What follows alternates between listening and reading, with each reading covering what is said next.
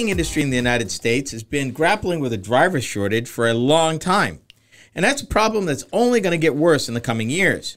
Long hours, days away from home, and the occasional hazardous conditions combined with the retirements have continued to decimate the ranks of drivers.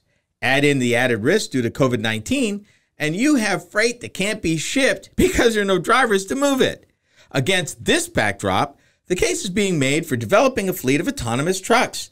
They would handle the long, boring job of traveling between terminals on the interstate, with human drivers being used for the first mile, last mile of the trip, kind of an in the city, out of the city situation.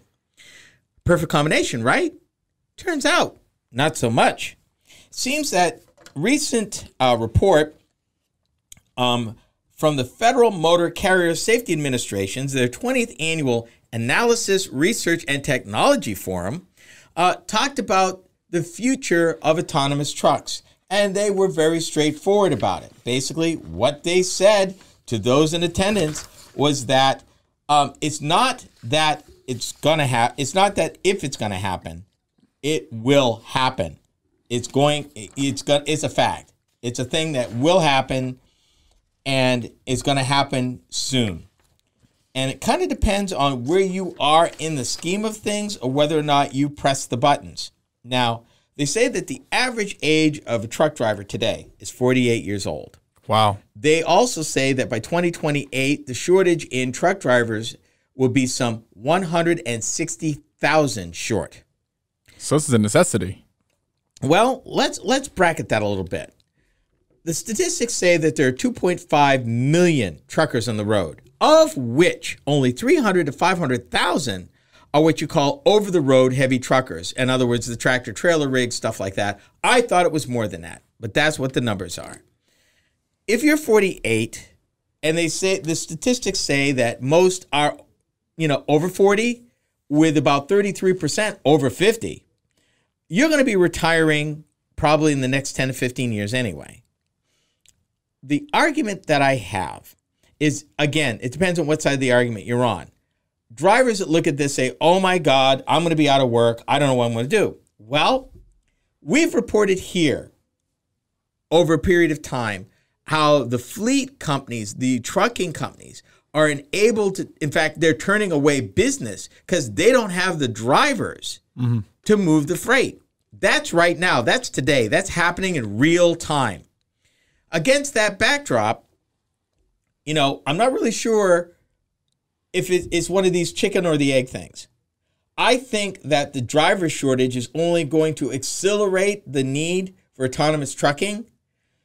Those people in the know at the agency says, ah, autonomous trucking, really, autonomous trucking's 10 to 15 years out. And because of the cost, uh, we expect that it will take even longer for companies to adopt. I say you're wrong. And I'll tell you why. I think that with the driver shortage being what it is, uh, we don't know the full effects of what COVID did to drivers who maybe weren't thinking about retirement, but rather than put themselves at risk on the road, said, I'm done, I'm out. And maybe they retired earlier than they normally would have, because that definitely was a thing.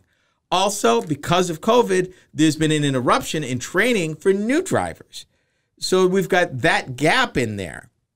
When you're looking at that gap, plus freight, plus the resurgence of the economy when it comes back online, which is going to need even more drivers in the short term, I think that it would behoove companies not to invest heavily in automation, at least the big trucking companies, for sooner, not later.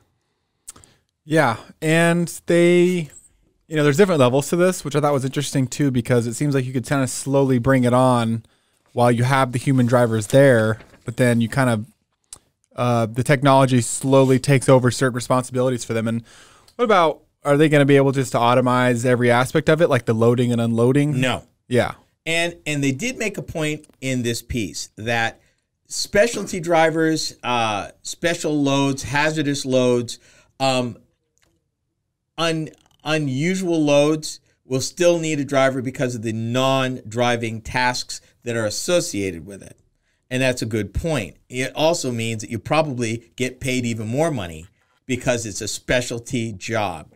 But as far as moving a van full of stuff you know, a trailer full of stuff from California to Florida, those days are numbered.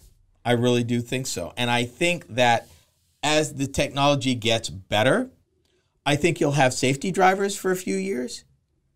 But I think that you'll see. Yeah, I know. That's I exactly what I'm thinking. I'm, when- when they actually go driverless, do you think they'll put maybe like a a dummy in the chair to make people feel better? 'Cause No. ma- imagine when you go next to a semi on the road, you look next to you and there's just no one in the driver's seat. what I really believe will happen, I think that there'll be legislation that will limit what times of day that autonomous trucks will be able to be on the interstate. Okay, I yeah. all now this is me talking. This is not the federal government or anything. This is just my take on it. I believe that it would not be unusual for autonomous trucks to run, say, midnight to six in the morning from terminal to terminal uh, in a dedicated lane. I really believe that will happen. That makes sense. with speed limited to whatever that speed is. Yeah.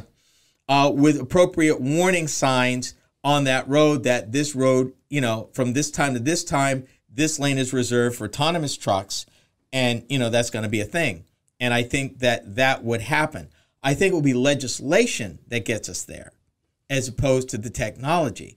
I also believe that legislation will require a safety driver in the truck at first that may Yeah, that for may take a step back as it gets more accepted and they work out the kinks to maybe a remote driver who monitors the truck and the trip to the day when that doesn't happen. But those steps I think could be 10 to 15 years. That makes sense.